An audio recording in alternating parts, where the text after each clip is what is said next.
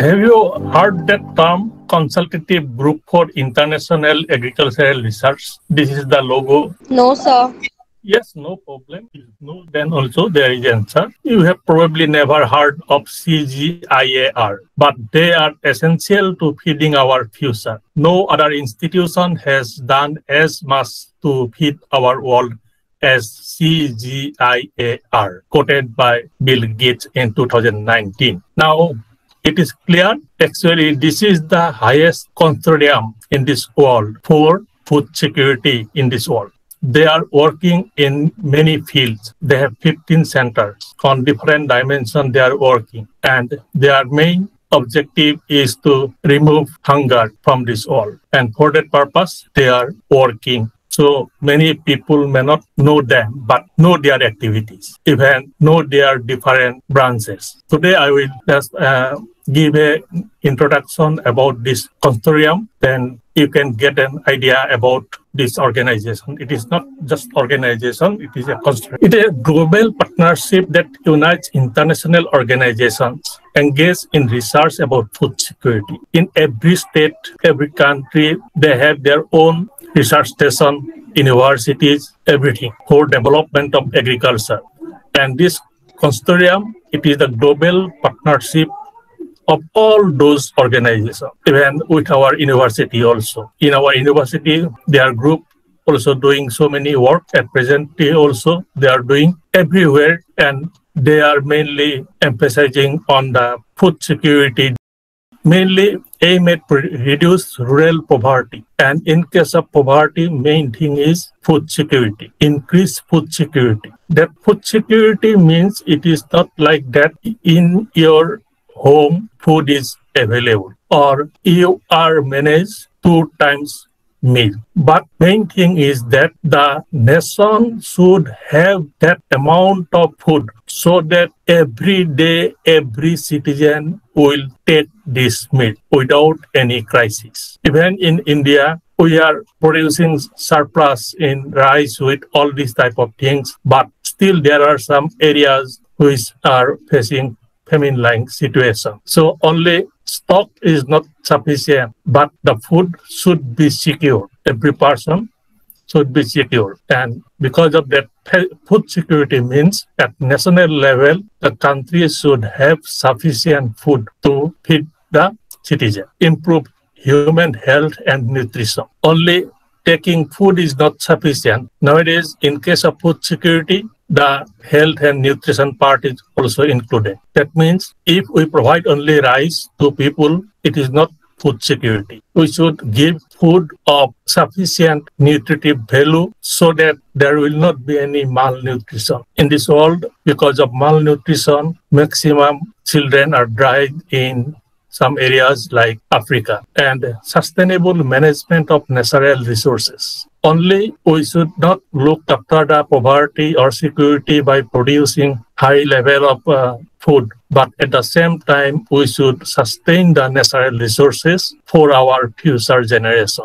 We should not produce anything at the cost of natural resources. And these are the main things of this consortium. It was established in 1970s. Actually, it's triggered the green revolution. When there is a large scale crisis of food, then this organization, this consortium, they attempt to develop some variety of wheat and paddy for the first time. And because of that, on the effort of the breeder, they able to develop some good high-yielding varieties of wheat and paddy. IR8 is the first high-yielding variety, and this is produced by the scientists in response of this famine condition. They have different centers because for food security, rural poverty, in all these cases, we need different type of organization, different types of activities. We need help from different civil organizations, NGOs, universities like that. And because of that, these 15 centers,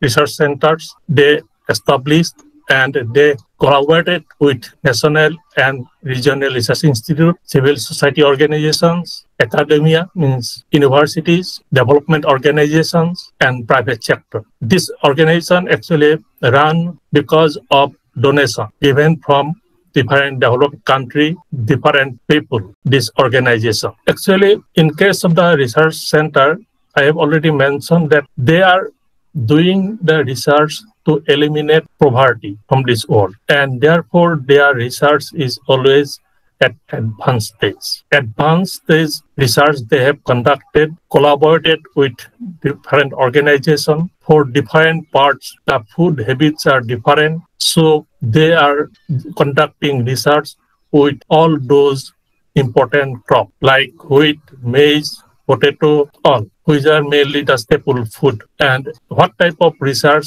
they should conduct for that purpose, first their process for development of variety or any technology. They also provide some policies, not only for uh, developing different your varieties, because sometimes what happens because of wrong policy, there will be a food crisis. It is not because of the shortage of food. In last time, when the food crisis was happening in this world, the entire world faces the food crisis in which year? Last food crisis in this world. Entire world is concerned about it.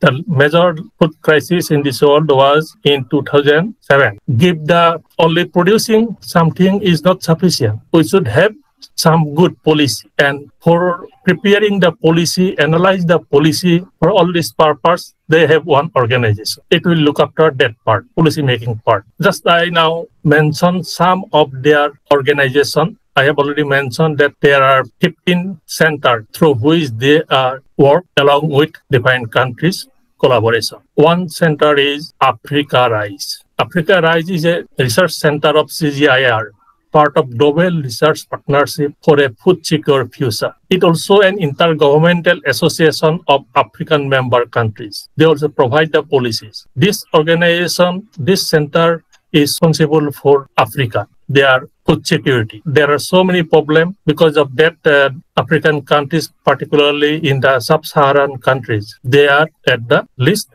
developed country. They have nothing, only depends on others. To help them, Africa Rice Center is working in Africa. Here it is an alliance, the Alliance of Bioversity International and CIAT. Both the center, they make an alliance under CGIAR and they conduct research on biodiversity and sustainability so that without damaging the nature, food system will be carried on the food supply chain from earth to our mouth without damaging the natural resources as well as they are also finding out some alternate food. Still, these are minor food, but with heavy nutritive value and have the potentiality to replace even staple food. And in future, it may be necessary. So they are looking on those areas. This organization, by collaborating with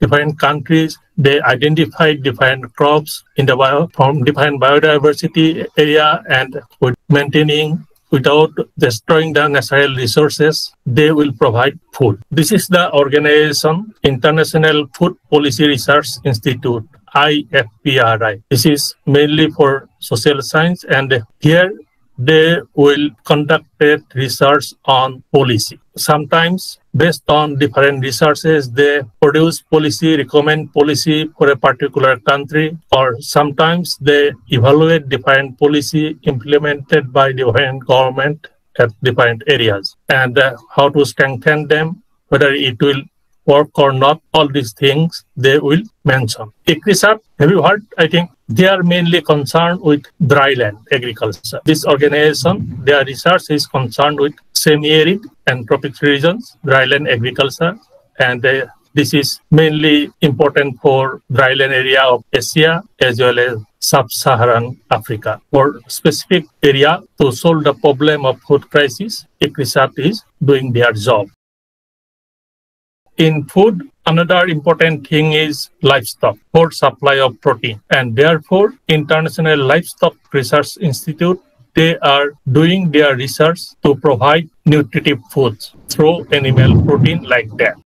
They also conducted research even in Assam, district like Dhemaji, Lakhimpur, Karbi with the pig as a food security source, all these type of things. And always they conduct their research in collaboration with local organization. It is a known term, no? IRRI. IRRI is under this consortium. It is premier organization in case of rice research. IRRI, for the first time, developed the high, high variety rice, IR8. Still, they are leading in developing the rice variety. At present, they are looking after area-specific research, means flood-prone area, plus flood area like that, because area-wise, the variety will be different. And for that purpose, they conducted this type of researches. These are the institute, uh, 15 institute of CGIAR, and uh, you will get this list. And uh, if you go through their main website, then you will get the major activities or specific activities,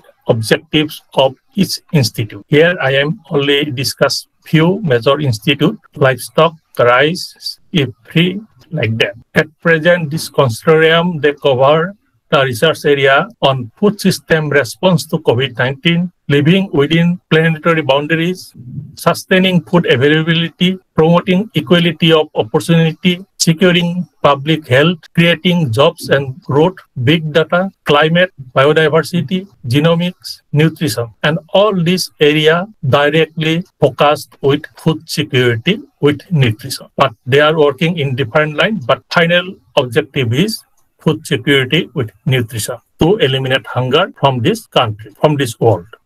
In case of India, there last year they provide some contribution. One is India's food system in the time of COVID-19, food safety and COVID-19 responses, priorities for India, how India's food-based safety net is responding during lockdown period. CGIAR has come up with new ideas that have had a global impact, like starting the Green Revolution and leading the way in food system science. Now, it is changing to help solve the food, land, water, and climate crisis of today and tomorrow. One CGIAR is the concept coming together of CGIAR skill, knowledge, assets, people, and global presence for a new era of research that is connected and driven by partnerships to reach the sustainable development goal. With this today I conclude my presentation and if you find it useful then subscribe my channel and like my video. Thank you.